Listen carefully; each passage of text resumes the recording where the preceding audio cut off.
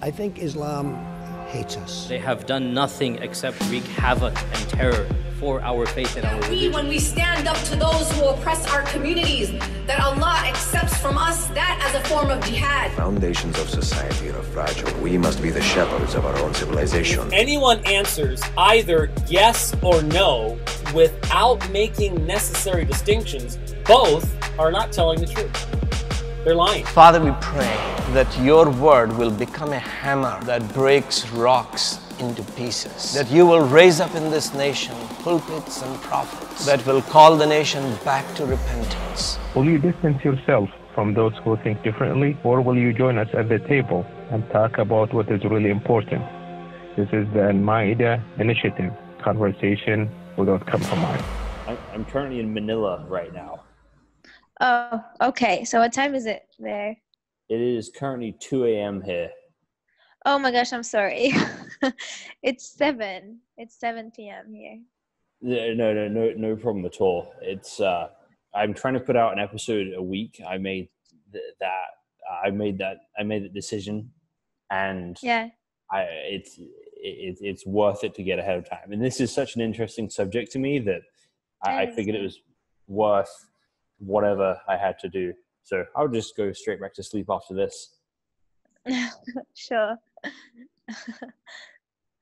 So, um, tell me a little bit about yourself. Where, what you, you're a you're a teacher. You're someone involved in politics as a as, Yeah. as- not as your main thing, but that's something you're involved in. hmm So, um, my name is Tasnim Idriss from Tunis, Tunisia. I'm 25 and I'm an English teacher. Um, and I have always been involved in, you know, so many uh, civil society activities. I'm part of many uh, NGOs, international NGOs, and local NGOs. And I'm also active politically speaking, but I'm not part of any uh, political party. I'm just, you know, a follower of, you know, what's happening in the political scene in Tunisia and elsewhere.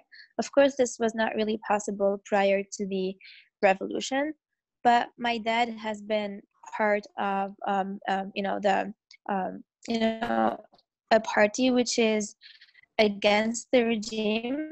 Um, so I have always been involved um, in politics, like knowing what's happening because nations did not know what's it. But there's a kicker kind of, you know, um, they know what was happening, so they they were always um, understanding of everything, and uh, whether it's from the left or from the right. So I was part of that category, and uh, yeah, that's why right after re- the revolution, I also kept going to every strike, to every um, demonstration, and, and then after the revolution, the civil society, um, you know, world sparkled uh, in Tunisia because it was not really possible before. So I took part in in all of these things, and it made my life really busy, but it was it's always worth it. So give me some give me some background on, on Tunisia. So obviously there's a rich ancient history in Tunisia. Uh, Yeah. where Carthage was, which was the main uh, enemy of Rome for a period of time, Yeah. and, and then was a prospering part of the Roman Empire itself. Uh, and then and and and then what happens from there? What's wh- how did Oh wow, don't- don't- don't- you're you know, bringing me back there. Yeah, yeah, no, sure. we don't we don't need to start with Hannibal. But how how how did the modern nation of Tunisia come into being? Yeah, well, there's a lot of history in this, but you know, after the, you know, the famous um, battle between Carthage and Rome, and they kept taking over power. Um, we, um, you know, Tunisia is in a very important place on the map of the world. It's like between uh, Af- at at the top of Africa and facing Europe and the Mediterranean and everything. So it has always been, you know, a place where all civilizations clashed and met and all these things. So we had um, the Spanish, um, and then um, the Spanish really um, tried to, you know, make a mess out of out of Tunis, and even the Zaytuna Mosque, which is the very, you know, the first mosque um, in in um, first mosque in, in in Africa. Also, we have also another one of the first mosque in Africa in Qayrawan. Both are in Tunisia. They turned it into a zoo um, and um, you know yeah they did and it was thanks to the turks uh, the, the ottoman empire sorry um, that saved um, you know the pretty much uh, tunisia became part of uh, the the ottoman empire. Um, but of course before that um, you know arabs came uh, from you know uh, arabia and they introduced islam to um, to to tunisia. And it wasn't called tunisia before of course.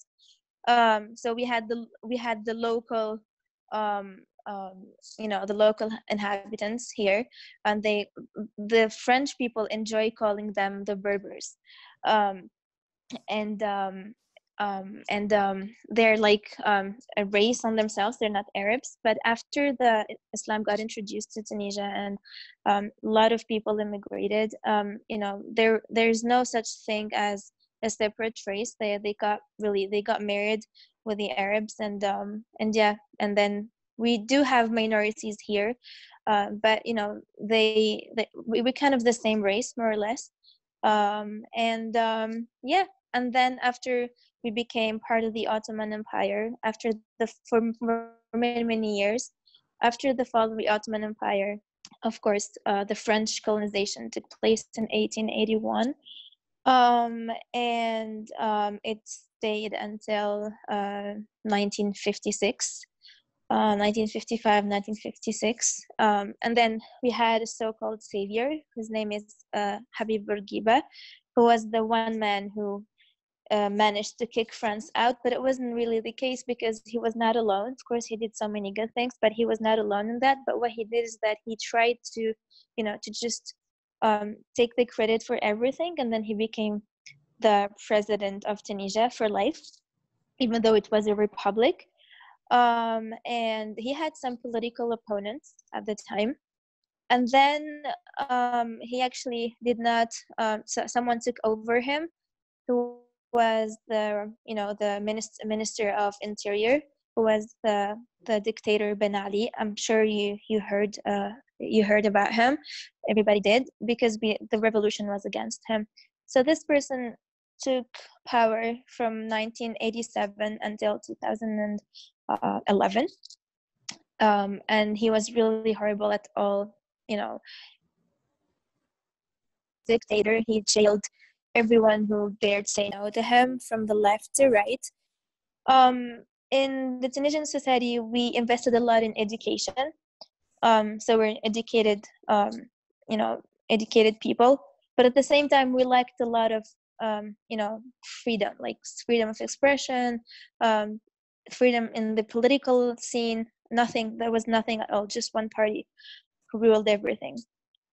Um, and then when the revolution sparked in 2011, um, everyone came together from left to right.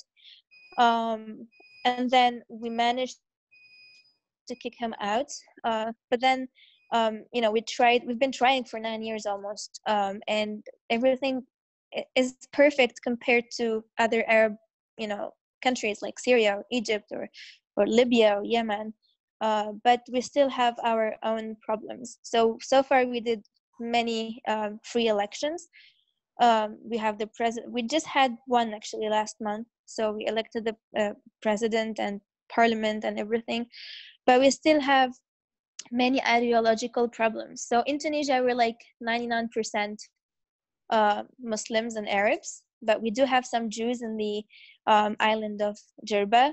They've always been there and they even have a very sacred uh, synagogue which people which jews from all over the world come to visit and we perfectly get along together. We have some christians um, but you know the majority of us are like identical. The prob the only problems that we do have are purely ideological. Some people are like um, lefty or or more conservative and this reflects on the political life and on the social life um, so as you can see, we're not like Lebanon, for example, with a lot of you know um, religions and sects, um, or in any other place with a lot of races. Uh, we speak the same language. We're we're like almost identical. I don't know whether this is a good thing or a bad thing, but uh, but um, we do have our own problems and we're working on them. I don't know. I'm just speaking. I don't know if you have questions. So, uh, yeah, so going back to the uh, the revolution in 2011 because that had Uh-huh. much, much wider implications. So it starts. I so, correct me if I'm wrong. Uh, Mohammed Bouazizi. Yes, yeah. That's He was the one who sparkled it. Yeah. So a tragic story. He's was it, uh, it, it, to set himself on fire. Yeah. small independent business, frustrated with government corruption, uh, tries to complain to the government. They don't do anything about it. So he just sets himself on fire, and then that that figuratively sets the whole Arab world on fire. Yeah, yeah. I mean, it wasn't really as simple as this because many people try to do the same. Many people actually did the same before him, and that was just the straw that just broke it all. Um, but um, it, a lot of people try to do the same, even more tragic things. But at that point of time, um, we were trying. We were having um, like we were we were waiting for the elections of Ben Ali. Um, for the 100th time you know um, and the political scene was a little bit tense and that that that moment we just we were just waiting for something to happen you know and it happened. So that's why everybody came together for the first time um, ever. The left uh, the leftists the right the conservatives um, everyone basically uh, people like ordinary people even those who were not politically active were really harmed by uh, Ben Ali because his family uh, basically was, um, you know, robbing everyone. They were trying to get in business with everyone and, and, and robbing them off. So the entire, the entire, um, you know, um, you know, the entire country suffered from Ben Ali, whether politically speaking or economically. So that's why we came together as as just one person, and uh, we went into demonstrations, and um, you know, people were killed and injured and, and taken and, and jailed and everything but then we somehow persisted. And till this day we don't understand why he he he chose to to run away to saudi arabia. He could have just stayed here and the things would have been completely different. Um, but he, he he chose to to just um, leave. And that gave us you know more power to continue because you know all of his all, all, all everyone who, who was associated with him the fact that he left the country made them weaker and weaker so that's why we were able to um, you know um, go for the first constitutional assembly everyone from, from tunisia who were living abroad many many people started to come back to the country and um, it was it was smooth uh, but with a lot of challenges as well which was not really the case with unfortunately with the other Arab countries because they were inspired by us, but our revolution was not really um, organized. You know, in Egypt, for example, they chose the very date to do the the big the big demonstration. In Syria, they started to call for you know um, you know uh, reforms and everything. It, it, us, it was not really the case. It was completely spontaneous, and for them, the other regimes were were prepared, kind of, to to deal with these demonstrations. But for Ben Ali, he was not really prepared because it was the first thing. Um, and also we have you know um, uh, Western intervention, um, you know foreign intervention, uh, which they tried to do in Tunisia, but um, I think the will of the people was mightier, and they tried so many times to do a lot of you know military coup. And one important thing uh, why Tunisia is succeeding is because we don't have the you know the tradition of having uh, of the military having power in this country. We don't have a strong military. I mean not in the sense that it's not really strong to protect the country but it's not politicized. Uh, it has always been there to just uh, protect the country and that's all. They never interfered in the political life which is absolutely not the case with egypt and, and syria. So a lot of these minor things are combined to to allow us to to have a success story somehow compared to the other countries. But saying this um people always hear whenever we complain about economy or any other thing they tell us oh you have to be grateful and look at the other arab countries you're really better off. It's true but we could have been better you know? So so we always you know we're always grateful that we did not really fall into the abyss of uh, you know just like the other countries but at the same time there are a lot of challenges a lot of problems to deal with especially economically speaking. But in terms of you know political freedom freedom of expression guaranteeing free you know elections we're we're we're, we're now the best. We actually this this last election we ranked 26th um, um, in um, you know uh, comp- uh, so with it we're 26 in the world uh, because we know how to you know uh, abide by the you know the criteria to uh, organize um, free and democratic elections. So we're really you know doing our best to achieve a lot of um, a lot of um, things that we have never been able to do if we were still under the Ben Ali era. Yeah. That's that's that's really interesting. So you're you're you've been basically been able to have free and fair elections. There's legitimate ability to have freedom of expression in the country for the first time. And that so so that's something this freedom of expression movement that's something that you're actually involved in in a scale beyond tunisia right? Yeah. So tell me about tell me about how you got involved in the tell me what the islam and liberty movement is and tell me how you got involved in it. Okay so uh, after the revolution as i told you the civil society activism and ngos the entire thing sparkled in tunisia we were we were started to be able to join um, international organizations foundations networks and everything. And i've always been part of this um, and in 2011 i got connected to i mean i've always been part of these you know clubs and ngos there were some of them were really secret. We had this al Jahiz um, uh, network which is uh, called after uh, you know the the scientist uh, al Jahiz uh, sorry he was um, you know he was really famous.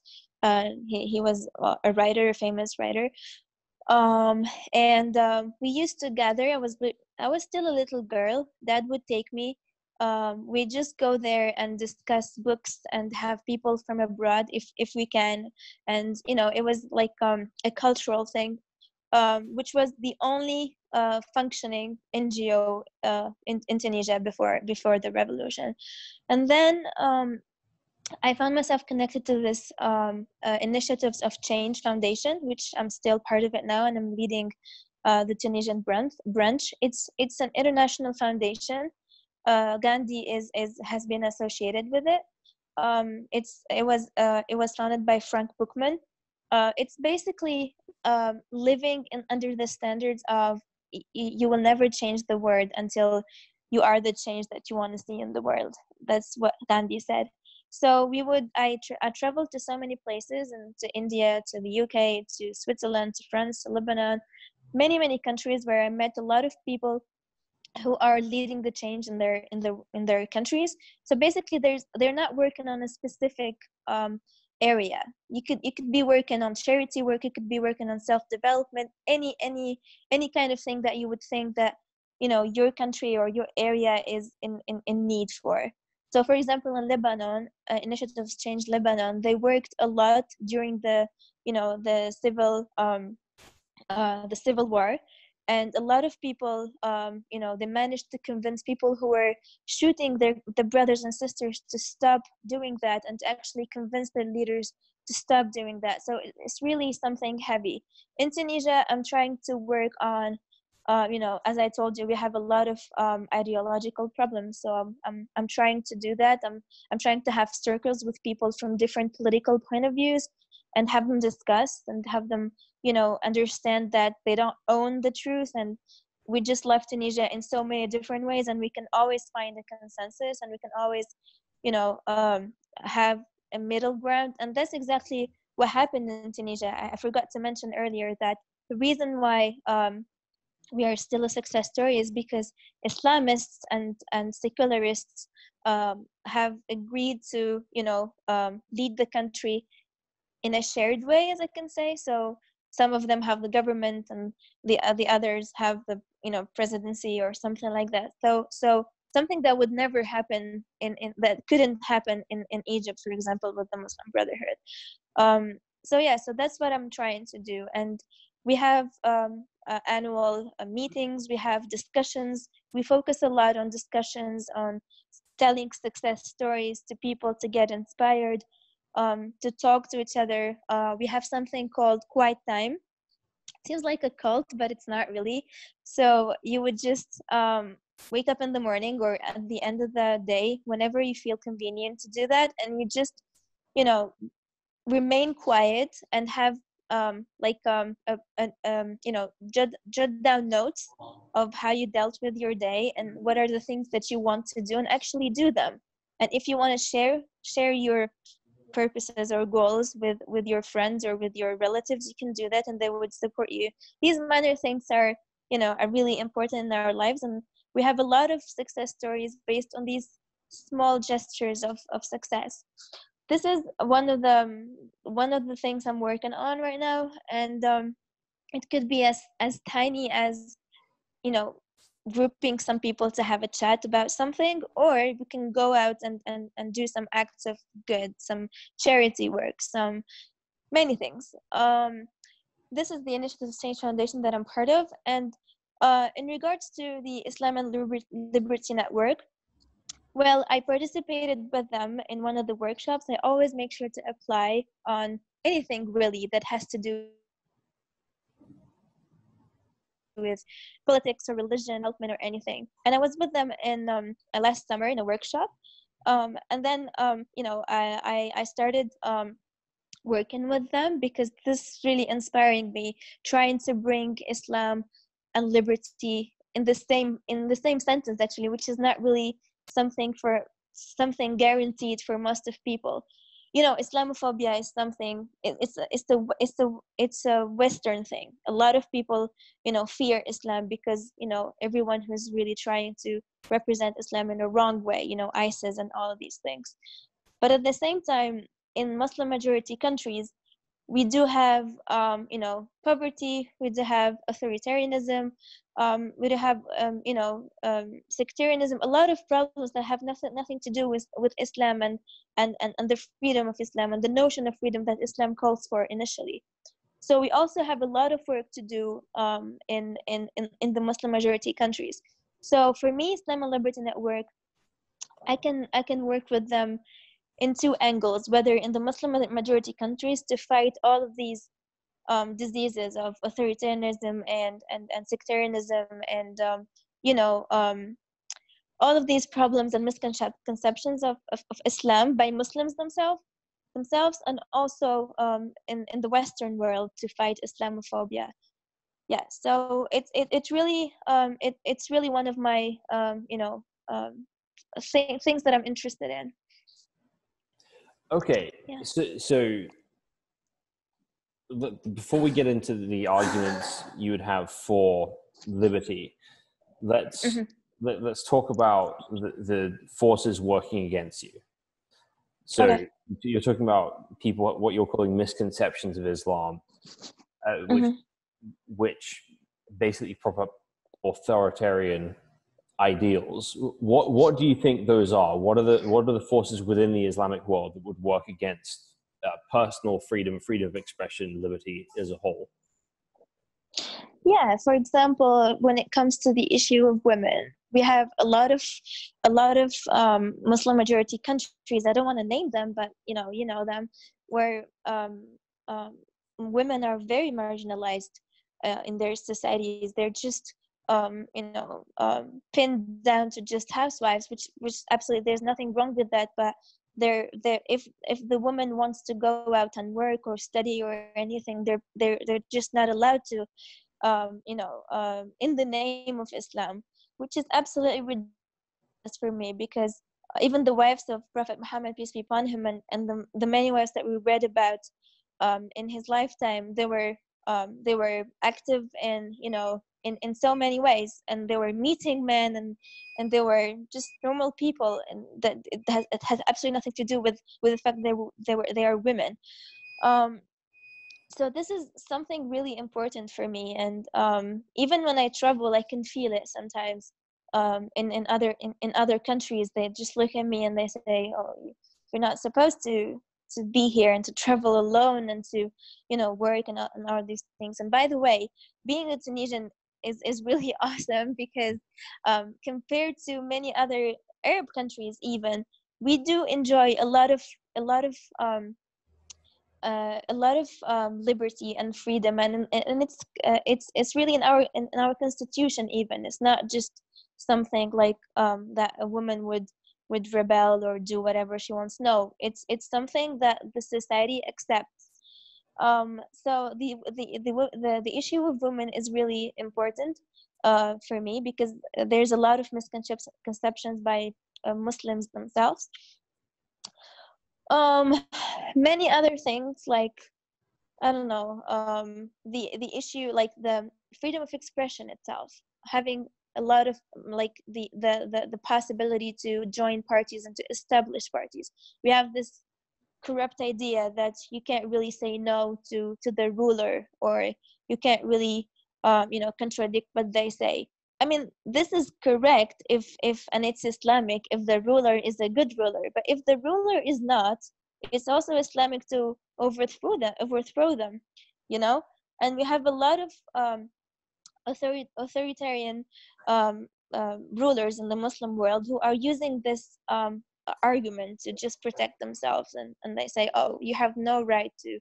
To, to, to say no to me because I rule you. This is absolutely ridiculous for me um, and we have corruption as well um, economically speaking politically speaking like if there is like um, someone who's like a guide for for the tribe or something. We, we don't have the tribe system in tunisia luckily. So but there is a lot of tribal system systems in, in the arab world the muslim world.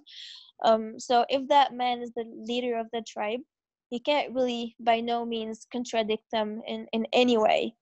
And this is wrong. If they are doing something wrong and if they're doing unjust injustice to people you, you need to stop to stop them regardless of their status. So so all of these things need to be really uh, you know fought against. And in the name of islam even though they are there in the name of islam as well. So this is where the contradiction lies. So so so i guess here's the i guess part of the difficulty with this is that in any in any side of an argument like this, they're going to have certain parts of the life of the Prophet, Hadith, Islamic history they're appealing to, and you're hmm. going to have your your version of things that you're appealing to. How do you make a case that a true interpretation of Islam would favor liberty and freedom? Well, there are pillars in Islam that they're not, they cannot really change, they cannot really be changed, you know. Um, and we're not really disagreeing when it comes to pillars, but the problem lies in the interpretation, the ijtihad, you know. Um, so um, it, and it depends uh, depends on the intention of the one who wants to make this interpretation. If that person is known for their corruption, um, it's it's perfectly normal that they're using it they're mis- misusing it. If that person wants to free the society free women without contradicting the pillars of islam then that's perfectly fine. And we have a lot of examples when it comes to this. But um, you know islam has come primarily to to to to make people live with dignity and freedom. Um, the fact that they you know you can you can study the you know the arabia before before islam in the time of, jahiliyyah. Um, they were basically eating each other. They were you know worshiping each other. They were all over the place. When islam came the, it organized the entire society. It built the very first you know uh, you know the the the constitution of medina. Um, everyone the, the notes the, the you know the rights of every person, the rights of every person, uh, whether they're Jews or Christians or Muslims or just atheists, were written down. So Islam came to organize everything. The li- it's a lifestyle. So everyone who, who's trying to mess with that is, is completely wrong and is completely off track and it and does not absolutely you know does not represent Islam in any way. So that's the you know that's the criteria that we can measure with. So say say with the Charter of Medina, So you, are you're, you're right. It does all those things. It gives people specific individual rights. However, it does concentrate all political and religious power into the hands of one man, which is Muhammad. Uh, so, if uh, what would you say to somebody who uses that as a as an argument to say, okay, well, we should the, the Muslim world should have one leader who should have supreme religious and political authority over all aspects of life. Yeah. Okay. So the the Charter of Medina does not really uh, concentrate everything on that person specifically because he does. It's just like a moral figure. He he does have, of course, uh, prerogatives, but many other persons it's a high, like many other persons they have roles as well to maintain and the fact that it's all about muslims because the the majority are muslims you know but this means that you know they're taking care of the other minorities as well whether they're religious minorities or social minorities or every, everybody's taken care of you know which is necessary which is not really the case with the minority Muslims in, in, in, in France, for example, or many other countries where women cannot really wear hijab, for example, just because they're a minority. This was not really, um, you know, in Medina, you know, centuries ago, uh, one person who's, who's atheist was taken care of. So having people now from the Western world trying to lecture us about this is really ridiculous, you know? So um, everybody's taken care of um, no matter what their religion or views or anything uh, that on that at that time centuries ago um, so um, now we really th- we really think that it's really useless to try to attack Islam on this basis because when it comes to freedom of expression or guaranteed freedoms, no matter what what what nature they are, it's guaranteed perfectly.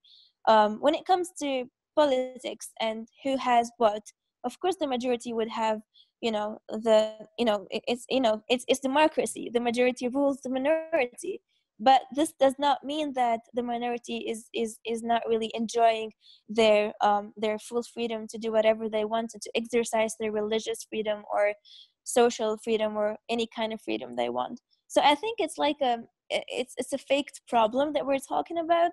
It's better to focus on how to revolutionize and make these um, you know um, islamic values um, you know uh, modern because we can do that. A lot of a lot of things that they used to be uh, possible before that are not possible now and vice versa. And with the notion of interpretation we can always do this you know? Um, so for example women before were not really able to travel without you know someone to protect uh, because per- obviously it was really dangerous to to travel uh, before for for them and it's always for a good reason to protect them. Now it's perfectly normal for women or any man also to to to travel uh, because it's it's safe. Uh, so having for example people who are still thinking that way from the muslim world is ridiculous so i'm i'm really attacking everyone right now. Westerners who are you know um, you know trying to make fun of um, you know um, the notion of freedom in islam when it has always been there centuries ago. And muslims who are misusing islam and, and, and just sticking to to things that are not really up to date is also ridiculous. So we really have to fight this this this idea of just trying to um, you know attack the other or trying to preserve what we have without really thinking. That's what i'm really trying to work on right now with everything that i'm doing. So, so some of the things the so, I, I, think having having read lots of islamic history and a, a lot of the hadith as well that there are certainly things that are deeply rooted in uh, Islam, which give people some liberties. Uh, and I think there's a lot of misconceptions about the early Islamic conquests and what they did to religious minorities. Uh, what I've actually what I actually found through through reading is the, the, usually the the worst treatment of minorities was actually during the Ottoman times, and that was so it was it was a long time after the original Arab conquest that minorities started getting a really bad deal. Obviously, it goes up and down at different Yeah. times in history, but so, so a couple of things that are deep rooted in, in that. So one thing would be apostasy laws. So, so it's it, it- there's always been a case that if somebody is is, a non-Muslim within a certain within, within certain parameters, they've been reasonably free to hold to what they they believe. And and you've got the Pact of Umar, which is pretty ancient, would which would forbid certain activities, but would nevertheless still allow people to retain their religion. But then you've also you've always had these apostasy laws. Could, could you speak to that of how apostasy laws should or should not play in with modern Islam and, and where people are getting those from? Okay, so um we have a very famous verse in the Quran that says that um you know um I'm just summarizing it you know everybody has the the right um to just accept and embrace whatever religion they want and um if it's by force then as if they're not really um you know choosing that religion in the first place because everything has to be out of free free choice you know? Freedom of choice is really the pillar the pillar of islam. Um so if someone accepts islam that's perfectly fine. If someone wants to just stop being muslim um that's perfectly fine too.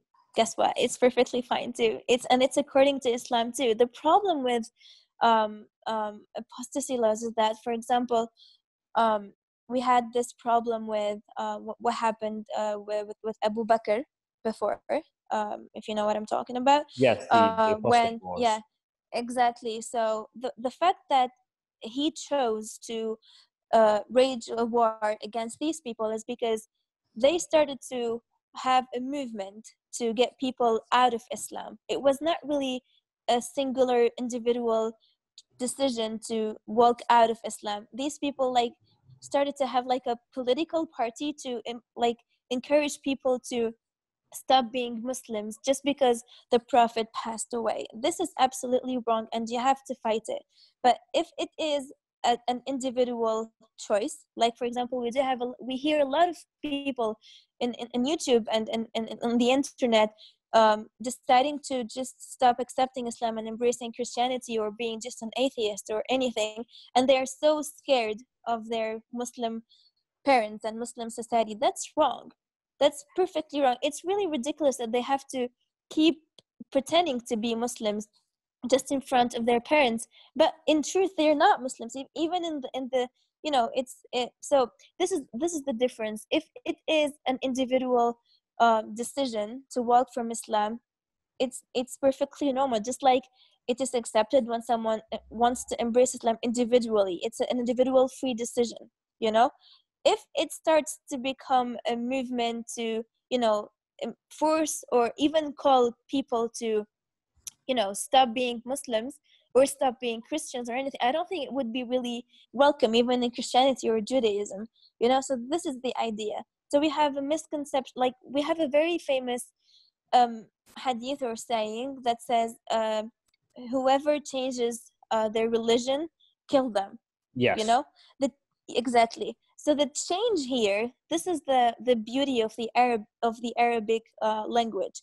The, the what, what is meant by change here is making changes within the religion. For example i don't know saying that uh, alcohol is, is is is is allowed saying that adultery is not a sin saying that i don't know these things that are perfectly clear that they're sins in the islamic system trying to, to to say that this is this is not a sin anymore. Well if you choose to do it you're absolutely free. You know nobody tells you not to do these things. You're absolutely free. But saying that i'm a muslim and i'm doing this because it's not really wrong in islam that's change of religion. This is the name you know this is the problem because it messes up with an entire system. If you are you want to do it out of indiv- an individual act you're perfectly allowed to do that but don't talk in the name on, on behalf of an entire religion because it has pillars and it has a system you know? We're talking about a, a, an entire system. You know the problem with islam is islam is perfect but muslims are not just like any other system. So if you mess up with the system that's really dangerous. But if you want to just embrace whatever you want any action under your own decision not under the, the under islam or in, under any religion where it's perfectly stated that these things are correct and allowed and the other things are not.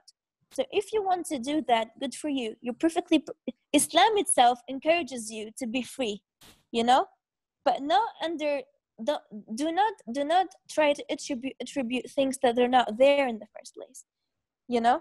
If you want to do some interpretation that's perfectly good for you but don't enforce it into a system where everything is clear in it. So this is what it what it what is what it's meant by whoever changes um, you know the um, the religion um, kill them. But if if you want to change your religion and become and embrace a totally different religion of course you're free to do that because you're only muslim if you choose to do that if you choose to be muslim wholeheartedly not forced.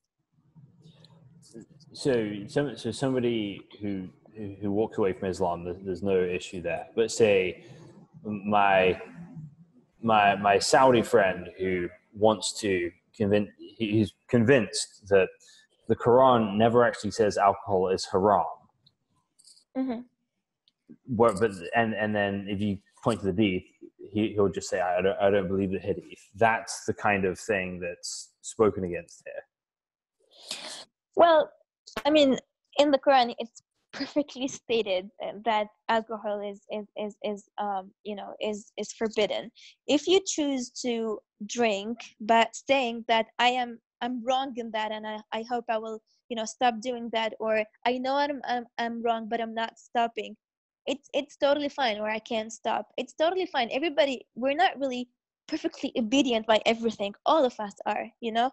It's all in the intentions. If you if you do something while knowing that you are wrong and you can't stop or you don't want to stop that's perfectly different from saying that no it's not there refusing to see it refusing to to to just admit that it's there you know? That's the problem that we we are now in. This is this is really a core problem in the in the in the islamic world. Refute like as if you're lying to yourself. The thing is there very bright very clear and you're just trying to say no it's not there. It's it's fine to admit that you're you don't want to abide by it. It's not nobody's gonna kill you by the way. We're not we're not really behind people trying to kill them you know?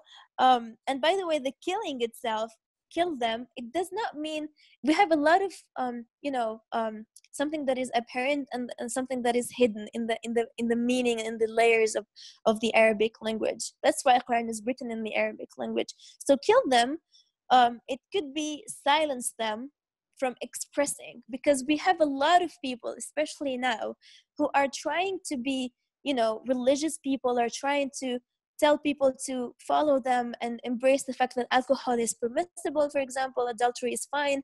Kill their kill their voices. Stop them from talking on behalf of, of, of muslims and islamic and muslim scholars. That's the idea. If you want to do that good for you but don't just attract people to, to, to follow you. So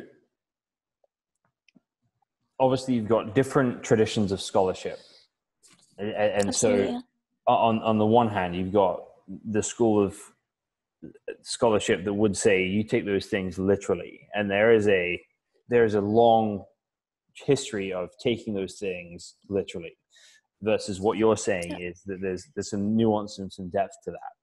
So, so if if I, if somebody is a Muslim, why should they listen to your interpretation versus the interpretation of say the Muslim Brotherhood or uh, or who, whoever else?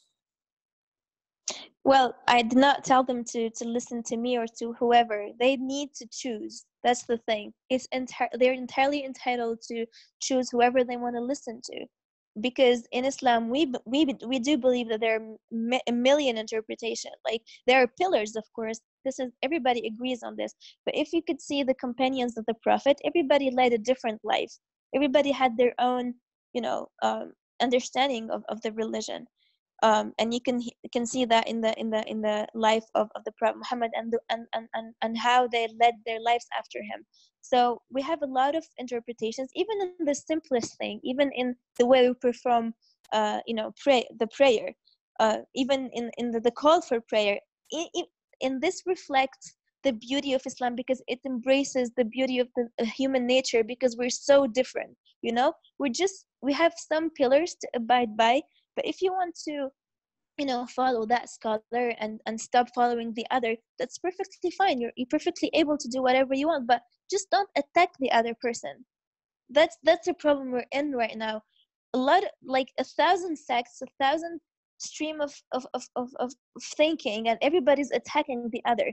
That's perfect it's perfectly normal to have different thinking because we're geographically you know uh, you know we're not living in the in the same place so we have different needs and different understanding and different cultures and islam pays a lot of attention to the culture as well. You know some of some of the pillars of islam is the culture to abide by the culture and something that is relevant in tunisia is not really relevant in indonesia for example. Um, so we have to abide by that. It's perfectly normal to have different understandings and different you know things to follow but just two things. Try to abide by the pillars of islam that's one. And two uh, don't attack the other persons because, and don't consider yourself higher than them and more pious than them.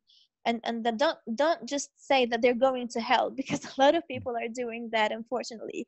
Um, they're just you know they, they think they have the keys of paradise and and, and and and and they're just saying oh that person is a pious one the other person is not. That's ridiculous. And i think these things are that are manipulated from from above. A lot of people like for example um in like um you know um during the french uh, colonization and the english colonization to many parts of the of the islamic world they tried to, to play this very nasty game to just set people against each other to just set, set sects against each other races tribes. And you know the country is is left behind even after the colonization tearing itself apart because of that you know?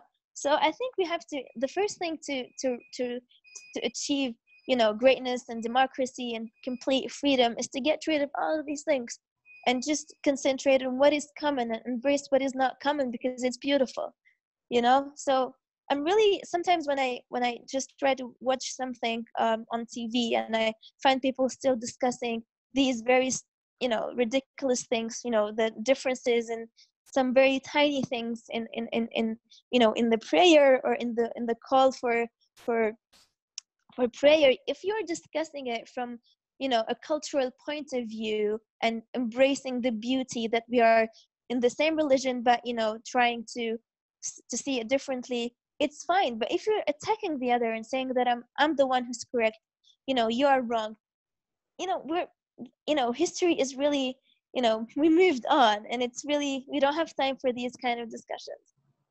Well i, I guess some of those discussions are small but other other other parts of the discussion are, are trying to define the arena itself.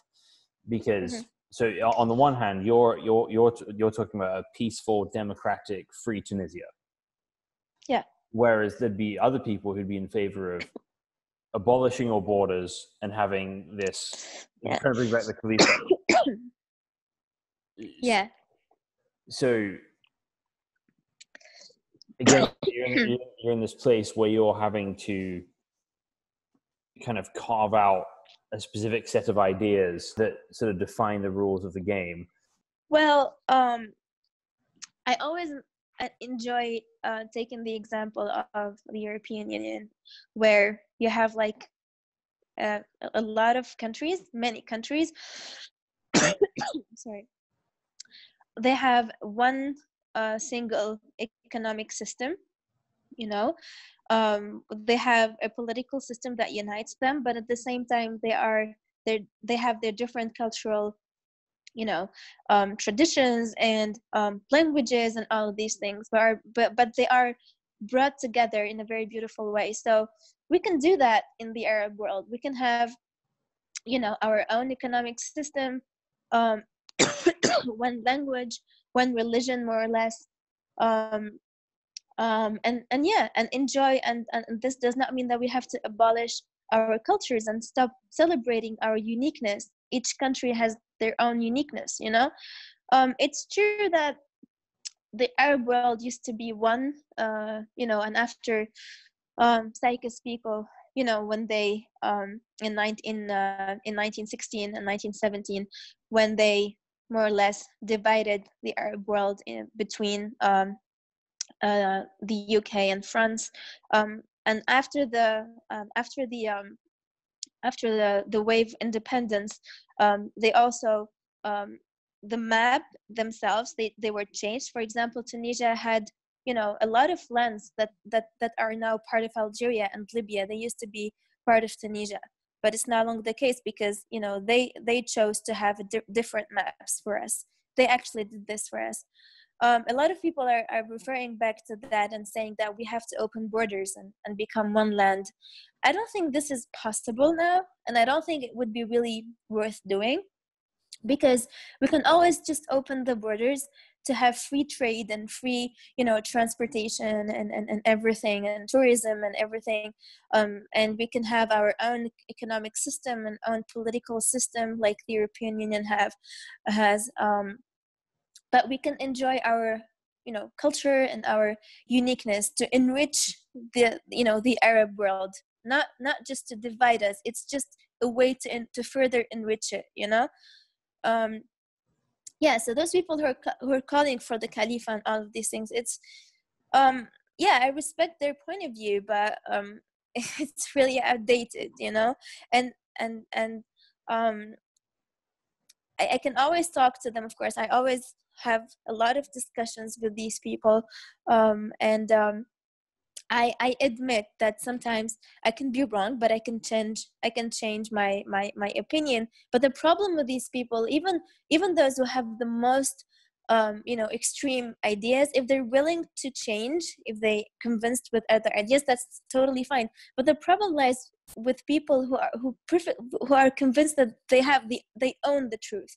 You know, these people whatever they got they're going to say i'm totally against them and always be against them because they're not willing to to have a discussion in the first place.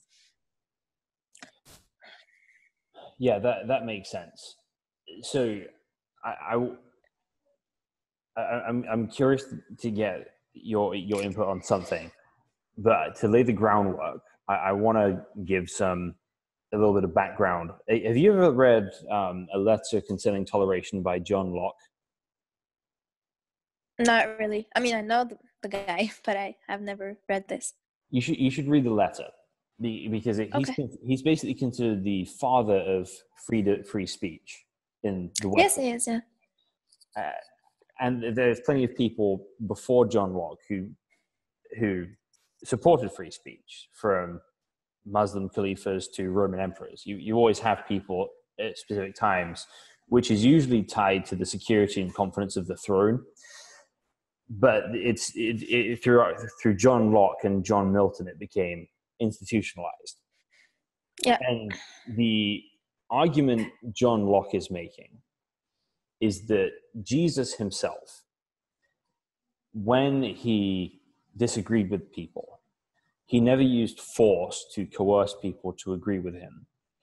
In, in fact, he, uh, he, he didn't even resist his own death. He was prepared to die for the truth, not to take life for the sake of truth. And then when they yeah. killed him, he rose from the dead, meaning that if, if Jesus, who we who Christians believe is God Himself, actually does not use coercion on individual people. And he uses and he uses persuasion instead. How much more should we as his creatures treat each other in this way? So the government's job is not to make sure that truth wins. It's the government's job to create this free and fair arena. Because in a free and fair arena truth will always win. So truth and error can do battle in the public sphere and people can decide for themselves in the trust that the truth will prevail. And, and so his appeal, his specific appeal, is to the life and character of, of Jesus in a very in a very tangible way. So, so where would you make your appeal what aspect of Islam, Islamic history, are you going to make your appeal to to say, okay, we should have liberty? Well, um, I believe that um, freedom is something really one of the pillars of Islam. And as I told you, if you are embracing Islam, you have to embrace it in a free way. It's a free choice, it's a free decision. You're not really forced to do that. Um, and if you're entering um, this um, system, there is a, per- a particular order that you have to abide by because if you are free, freedom itself cannot really lead you anywhere. There has to be order. We as creatures we ha- we are we have to be ordered you, you gave the example of the government um, the government should make sure that freedoms are there but at the same time you know people can can have a million discussion about you know their their different opinions and everything but it has to be in an ordered way in an organized way because freedom without order and organization is nothing it will lead to actually further disorder and which is not really freedom per se um, so um, I would say that um, you know Muslims when they will go somewhere to to spread Islam, the first thing they would say is yeah to the rulers of that part of the world, um, we would like to exercise our you know our freedom to call for our religion. If they're they're not allowed to do that, then they will start fighting and this is the misconception that a lot of people think they're just muslim they just go and conquer that place and they're just force them to become muslims. No this is entirely against against islam. And, and at some point it happened you know? Small small you know small incidents it did happen but these people do not represent islam. Just like a lot of christians so-called christians did a lot of things that has nothing to do have nothing to do with the you know the doings of jesus christ. So so so my appeal i would say um, you know um, whether in, whether when it comes to you know to the to free to the freedom of people entering Islam or the freedom of you know um, exercising any kind of political life um, you have to be free but at the same time you it has to be ordered. Um, so a lot of people a lot of rulers are misusing this the the ordering you know part of the of the of the equation and misusing and abusing it and saying in the name of islam we have to be you know strong rulers. We have to you know jail everyone who dares say no and all of these things because islam has to be strong and and we represent islam and all of these things. And there are others who are exaggerating in the other extreme saying that we have to be completely free to do whatever we want. We have to say no to everything. We have to fight for this and all these things.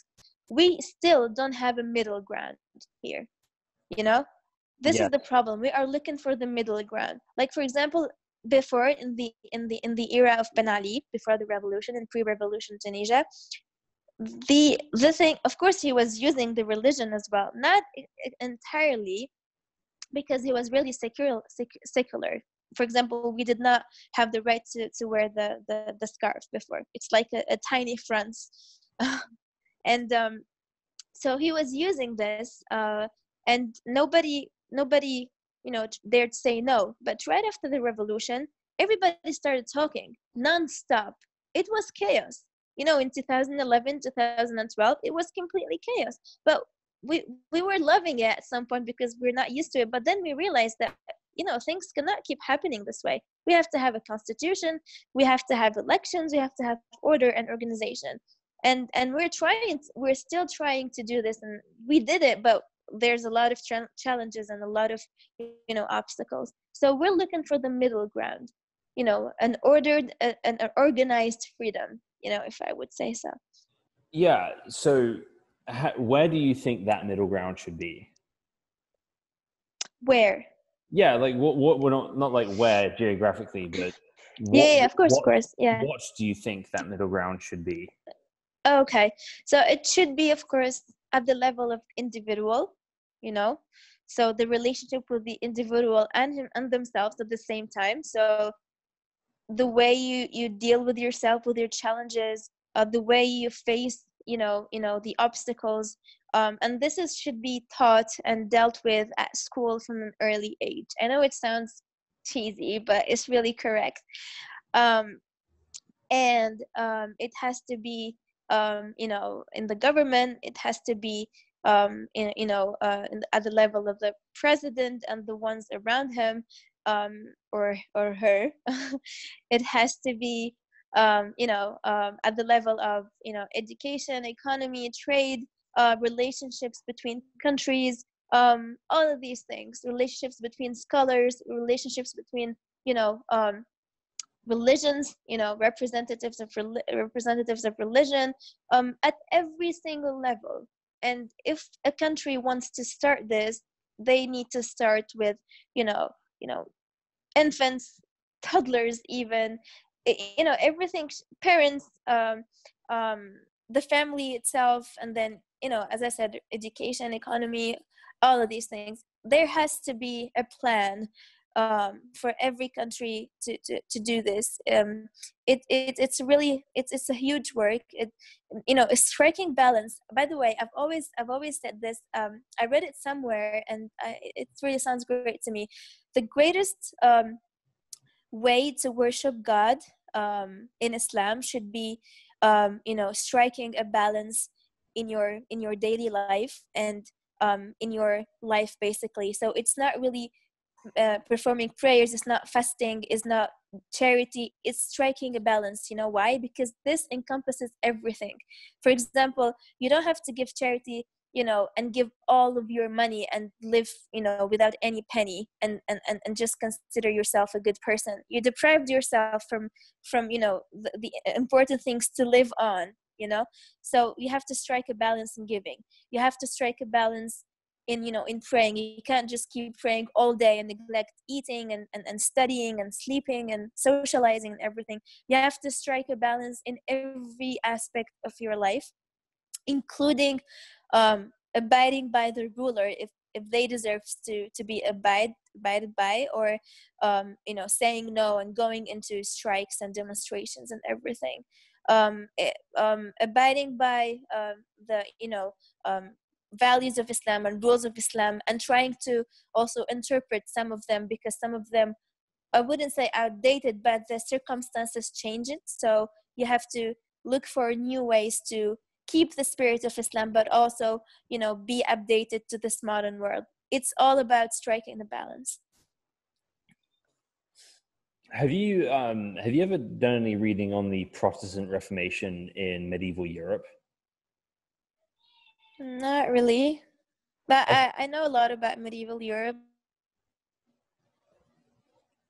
I, I think you'd find some some fascinating things to think about there because uh, this is the Reformation is really the one example of this having gone really really well because in the French Revolution, as you know, right, they they, yeah. get, rid of, they get rid of a king and they gain an emperor.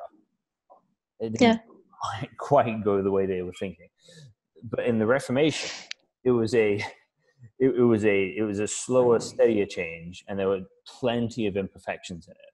But you did have these gradual gradual changes that shaped a lot of Europe into being freer societies, into being prosperous societies where where ultimately you have the right separation between religious powers and state powers. And yeah, but it was taken to the extreme at some point as well. Yeah, it, it, it has it has been. Yeah. But yeah.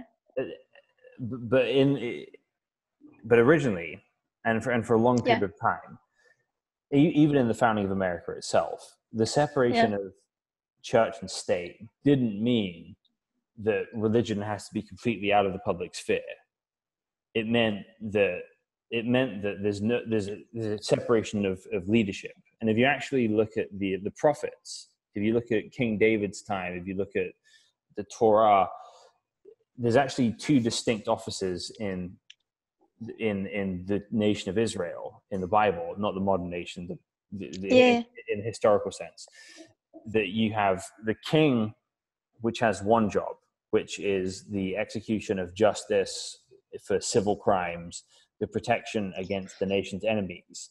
And then you have the priests, which are over the religious rituals and people's relationship with God.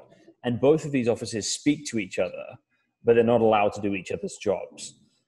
And what happens in the Reformation is you go you get a lot of you get a lot of thinking on how to define the job of the civil magistrate, the government, versus the versus the job of the church, which is the religious and, and the role they have in speaking to each other.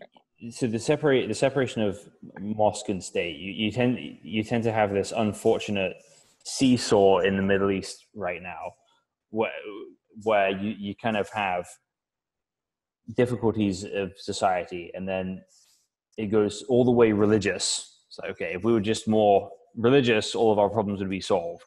They do that, they're yeah. not solved. Okay, if we were just more secular, all of our problems would be solved. Oh wait, they're not solved. If we were more religious, all of our problems would be solved. And you, you're, stuck, you're stuck in this you're stuck in this sort of pendulum swing between these two things. Hmm. Yeah. And if if you're and it seems that the balance between the what the state has to do and what the religious authorities do yeah.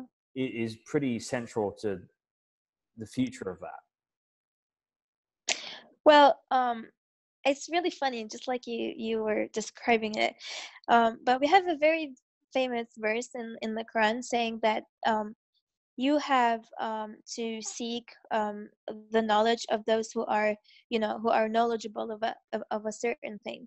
And this is like a pillar for me because if you are seeking um, the knowledge of politicians go and ask politicians and make them in charge. Do not make a monk or a religious person or an imam um, in charge of um, the political life or the social life or the economic life. If you want to have economy um, working well you go and you know ask uh, an someone who is good at in economy.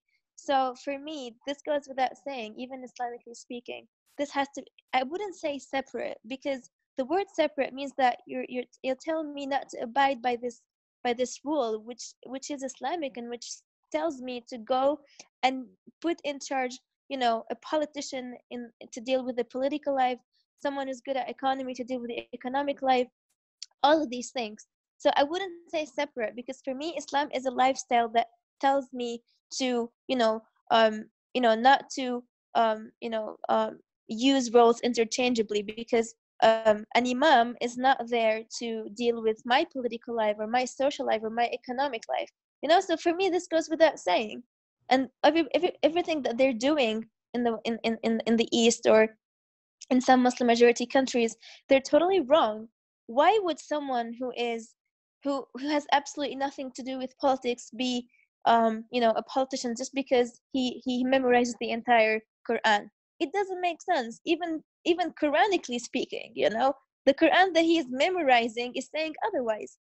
So so i'm perfectly for this you know civic state but for me it i wouldn't say civic i wouldn't say separate religion from from from from the state because for me religion is telling me to put you know these people you know who are knowledgeable ab- about these things in life in the in these places and not religious people in in in, in a place of a president or a minister or a trader you know? So it's it's a conceptual thing you know? It's a conceptual thing. And, and i agree. I actually i actually don't think it's possible to separate religion and government because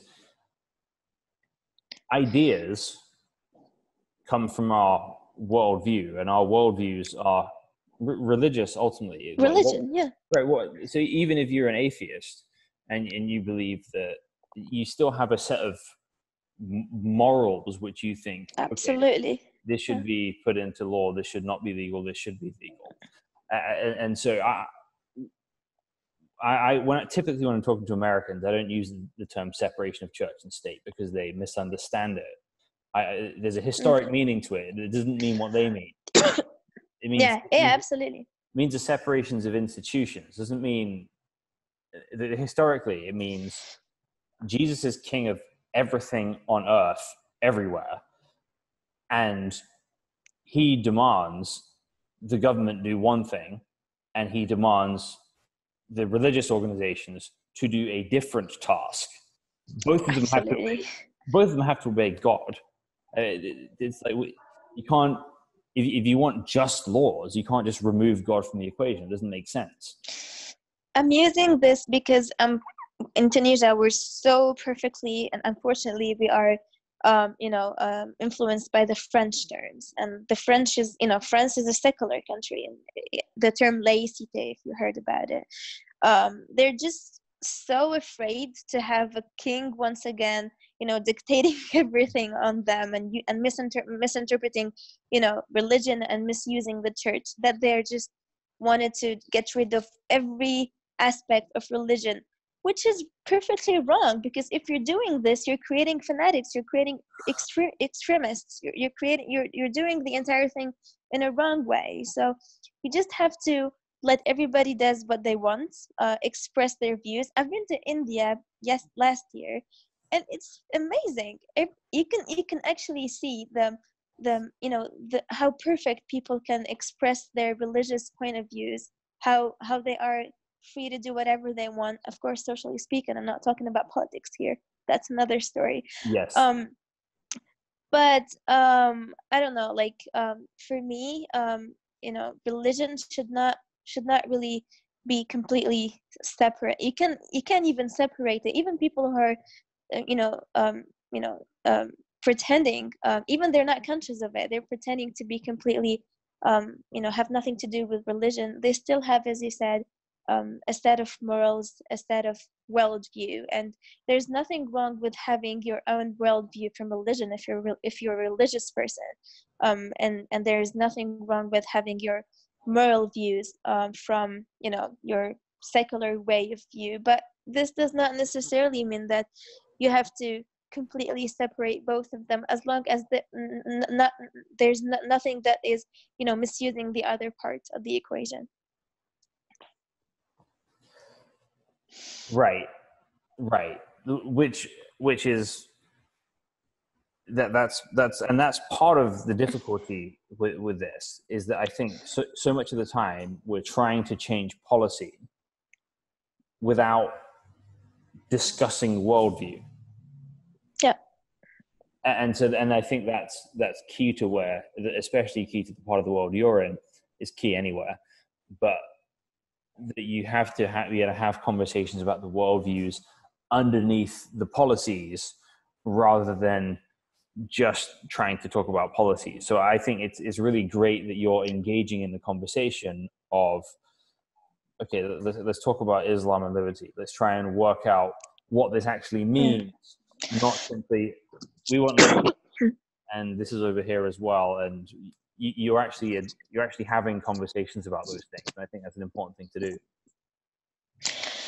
Yeah so the, the discussion about islam and liberty um, is has to do with the context you're talking in. For example in tunisia it's diff- completely different from speaking about this um, in a non-majority muslim world in the west for example or in Indonesia or in Pakistan, it's it's completely different. So it has to do with the context. So the problem we're, we're in right now is there are some scholars who are trying to talk about this and just um, you know painting everyone with the same brush, and this is this is not really possible. Um, in Tunisia, we have our own um, dilemmas, our own problems that are that are not really the same with the rest of the of the world. Um, so as I told you, uh, I'm interested in this because I, I can talk about it, um, you know, um, in in two levels. The first level is um, Islam and liberty in the Western world because it has to do with Islamophobia. I have to talk about you know how these things are wrong and how Islam is not about violence and and you know bring a lot of ayat and hadith and, and a lot of things justifying that Islam is not about violence. Um, you know, um, all of these things and trying to make people see that you know they're not it's not correct to be uh, you know fearful from you know some people who are trying to you know misinterpret the the religion and they're perverting it and all these things. Um, in the arab world in the muslim majority world um, the discussion is different. Uh, we we do know that Islam is not about violence. We do know that, um, and and some people, some Westerners, have been trying to implement this and enforce this and project this problem onto our communities. So some people are, are started to doubt their own religion, and this is really dangerous. but for now these are minorities and the problems we do have now in regards to islam and liberty is the misconceptions as i told you from muslims themselves we have a lot of uh, gender inequality uh, which is for me a form of violence and a form of um, you know um, it's not a form of freedom in, in, in, in a muslim country. So we have to fight that to liberate women to liberate uh, children who are some, some, some, somehow enslaved in some part of the of the muslim majority world. Um, we have to you know uh, fight dictatorships that are all over more or less the muslim majority uh, countries uh, because you know Islam is not for this, Islam is against this. Um, so, granting liberty and freedom to the Muslim majority world um, has to do with this. This fight is, is, is about this. So, as I said, to just to summarize, um, it has two layers for me. Uh, in, with regards to, to, to the Western world and non-Muslim world, it has it has to do with Islamophobia, and trying to explain that that Islam is not about this. It's, it's about you know freedom of expression it's about freedom of choice it's about peace and all of these things and it's about liberty and freedom granted to every person and with regards to muslim majority countries we have to fight all the aspects and manifestations of people who are enslaved in the name of islam um, not granted any form of liberty um, and this has to do with you know specifically with gender inequality um, you know problems that women are faced in the name of Islam, in the name of you know um, males who are authority, you know they are you know stronger and have the you know more say um, in, in in most of the topics. Um, rulers who are trying to impose their dictatorships and you know injustice um, in the name of Islam as well. So there's a lot to do. There, there is a lot to do and it, and a lot of it again goes to this this worldview thing. So you're talking about gender inequality, yeah, there's plenty of amazing, fascinating women in Islamic history. I, am yeah. reading. I've, I've done lots of reading on Aisha in the last year, and mm-hmm. oh, oh my word, what an interest on on every level yeah. for good for good and for bad right but you've got you've got that but you've also got some things in the hadith themselves which are which would not move towards gender equality as well. And so how, how personally just just curious for you. And, and this yeah. is, and this isn't an attack. I'm just curious of how you personally navigate the things in the source material which would you know denigrate women which would put them as generally higher than men well if you would give me an example i, I could probably answer you in a better way but yeah, yeah, yeah, yeah i okay. would when um, yeah whenever go on yeah so you, just, just just before that um whenever i feel sometimes i'm like a little bit you know uncomfortable with something like that i would face while reading the hadith or uh, i would i would i would directly attribute that to a difference of a worldview that their era was is not like ours that it was okay to to to to to have sentences said like this or stuff like that in that place um you know that that we would feel uncomfortable now because it's so different. But yeah just give me the example. So that would be better. so so an example of this um it's in sahih al-bukhari. And I, I, don't I don't remember the exact reference, but I can tell you how to find it. So if you look for the yeah, it's the book of menstruations, uh, and it's and it's about the fifth one down, I think. Um, it, it says that that the prophet was giving a, a sermon on uh, Eid al Adha, and he goes to the women and says, "Give alms, O women, for I looked and saw the majority of the inhabitants of hellfire were you women. And they said why? Because it says because you're ungrateful. It says ungrateful to allah. It says no ungrateful to your to your husbands. And then he goes on to say uh, i've never seen a group of people more deficient in intelligence and piety than you women and they said why and he said and he said is it not true that you need two witnesses, two female witnesses for every male witness in court? They say yes. This is the deficiency in your intelligence. And then he said, and then he says, and then is it not true that you can't pray on your menstrual cycles? And then he says, and, and then they say yes, and this is the deficiency in your, your religion. So that's that's an example of something that would be used as a tool against women in the Muslim world to keep them suppressed. So what do you do with hadith like that? Yeah, I mean, you just literally answered yourself with with the the answer of the Prophet Muhammad, and um, there's a lot of um, you know when people give attention and uh, you know um, kind of um, you know like for example when when when when he told thought that said that uh, women are you know who are the most who are going to be in in hell and not in you know this means that they are also um, probably the ones who are going to be more in, in in paradise more than hell because they can be both at the same time.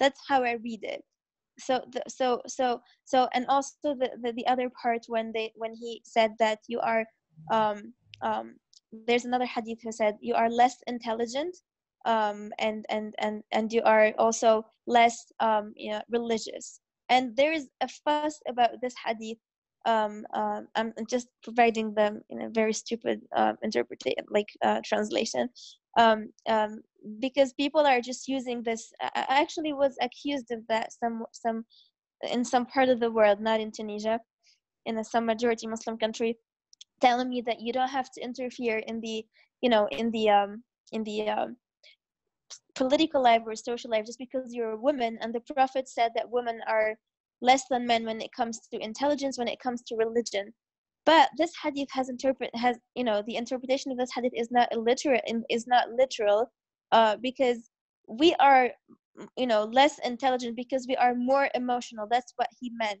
like more emotional because you know you know science even scientifically speaking women you know they you know they are when they are pregnant they you know the hormones are all over the all over the place and you you know you're you know women are more into you know sentiments and feelings and all this and that's necessarily not a bad thing it's really a good thing you know? Um, and also you know less religious religious because we do not pray um, you know during specific parts of the month um, you know? Um, and this does not mean that we're not less religious spiritually speaking. Um, so in this in, in, in this regard in the with the same in, with the hadith that you mentioned um, it, this means that women have a lot of work to um, you know to um, to pay attention to when it comes to you know um, their work to enter paradise because they can manipulate easily and they can be manipulated easily and they have a lot of responsibilities which does not necessarily mean it that it's a bad thing. It's actually a good thing. And this does not mean that they are judged differently from men you know? Because for me um how can I say it? Um, like for example, imagine that you are a person who is um, more into you know not giving charity. You're not. It's not that you're a bad person, but you find it hard to to give charity. You know, when you actually give charity, it means that you are you're gonna be rewarded in a different way than a person who finds it so easy to to give charity.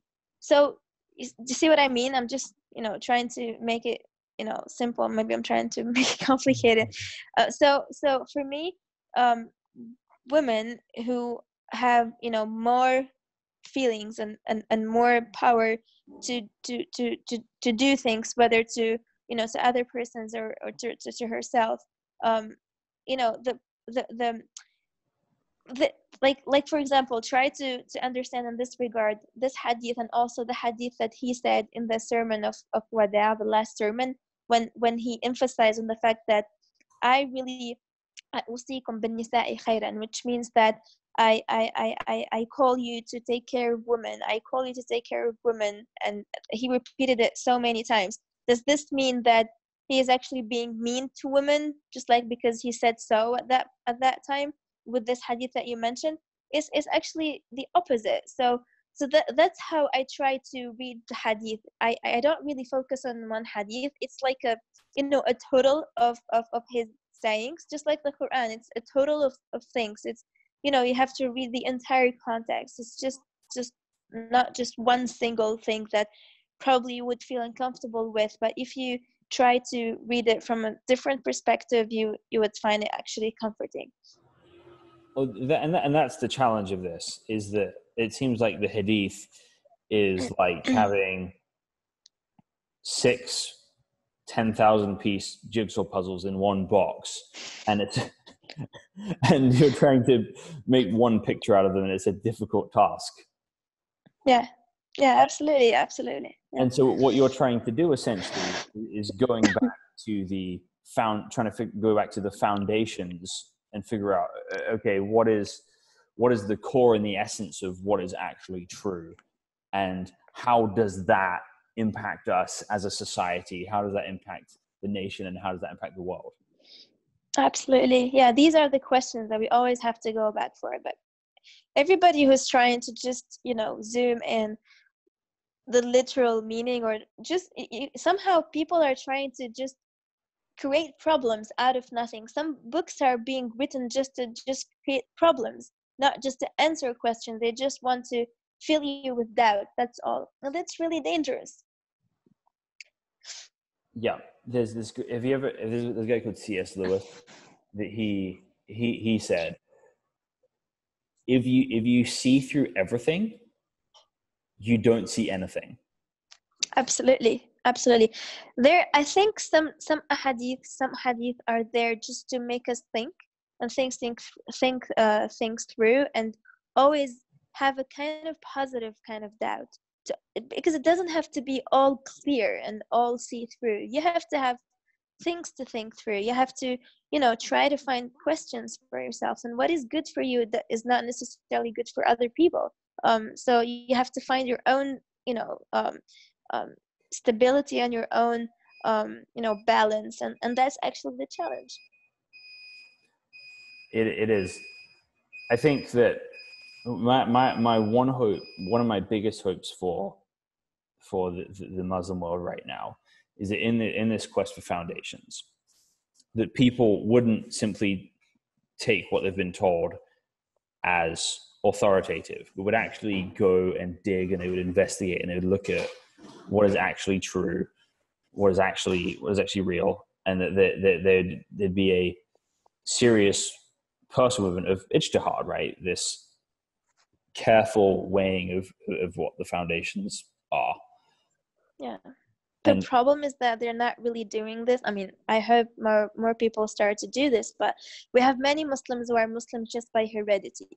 They were born in a muslim country. Their parents are muslims they can't really take any other way other than that it's dangerous you have to read like at some point when i was a teenager i i wanted to ask about everything i did a lot of readings and then i i said i was telling my parents I'm now a Muslim because I converted to Islam. I mean the the way that I wanted because I I read through. I I I, I I'm convinced not just because you both are Muslims. And this is what we need. You know, so um and and and, and, it, and it, comes, you know, this thing is applicable to any other decision in life. Once you are convinced, fully convinced, of course you can't really be perfectly satisfied. You always have to have that, you know, little doubt um, positive doubt to, to keep looking for the truth and everything but as long as people are just embracing things like that and anyone who's who has starts having you know um, questions just like the companions of the prophet always have had questions always and he has always been happy to, to answer them. Now if you are in a muslim majority world and you, country and you want to ask a religious question they would just you know not all of them but they would just you know shush you and that's it. And and and then you would just want to reject the religion and altogether and that's a you know that's a problem because you, you, you did not see its truth by for yourself and this is applicable to any other religion and any other decision in life y- yes so you, you're making that decision in the midst of right you've got these two these two sides one it's got you've got this very on the one hand you've got this very traditionalist not allowing people to think for themselves side of things, and then it's just kind of hereditary. And then on the other yeah. side, got the West pushing in these days, and and the, the message of the West seems to be, "Hey, come believe in nothing, just like us. Look how happy." and you, so there's there's people who want to take who want to take the core of what you believe and just replace it with air and nothing, and that's not going to help anyone.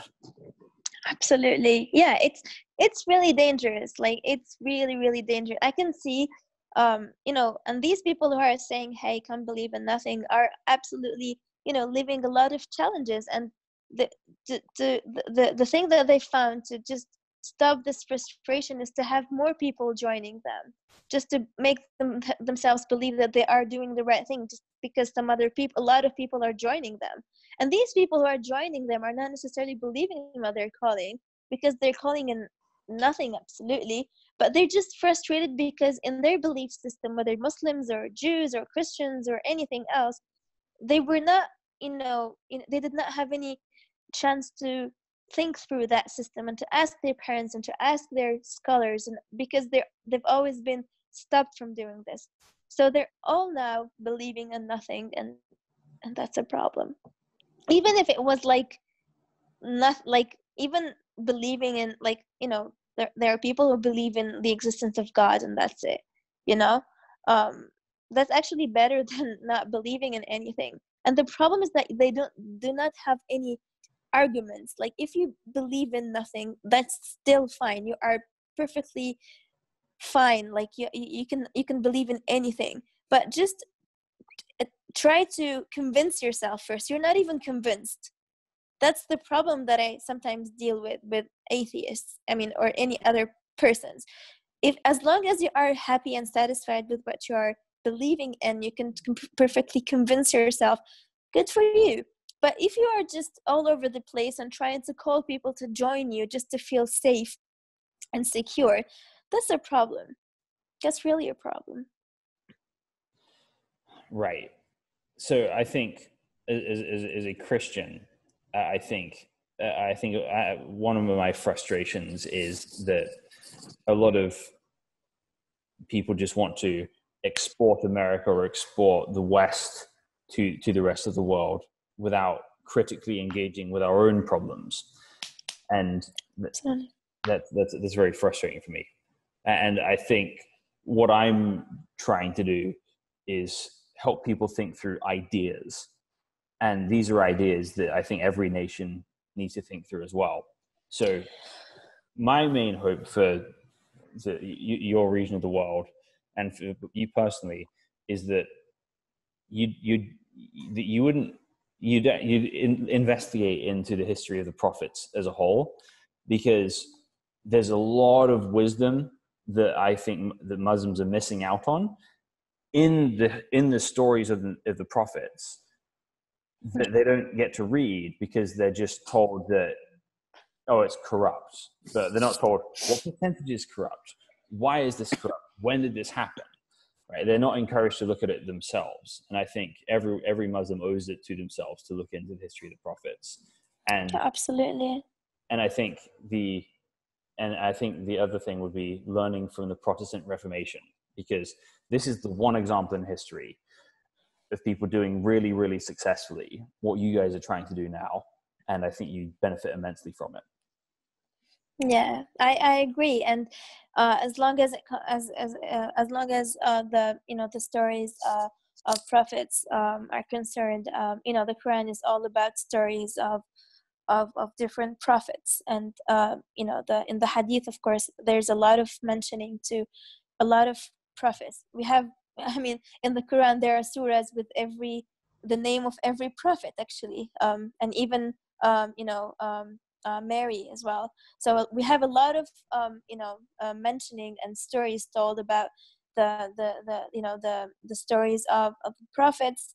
Um, and also um, a lot of history books, a lot of hadith, a lot of things that you know I do believe in all the, the, the, the prophets as a Muslim. And um, you're right, a lot of Muslims are missing out on this. They're not really um, reading, um, they're not really reading Quran in the first place.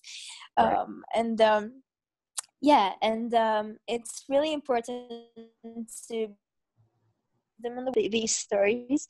Um, so they need to be um, studied and they need to be understood.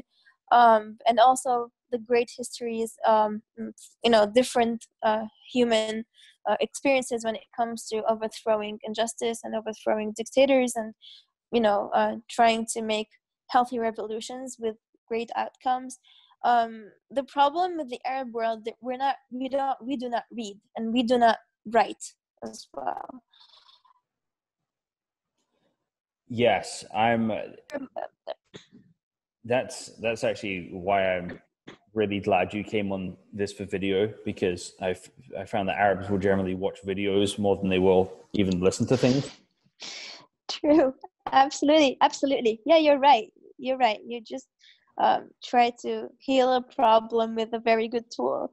Uh, people do not read, people do not write, and for a long time scholarship has been associated with these dictators so you would read to praise the ruler or you would write something um, you know to, to praise the ruler or it has absolutely nothing to do with academia and, and, and scholarship.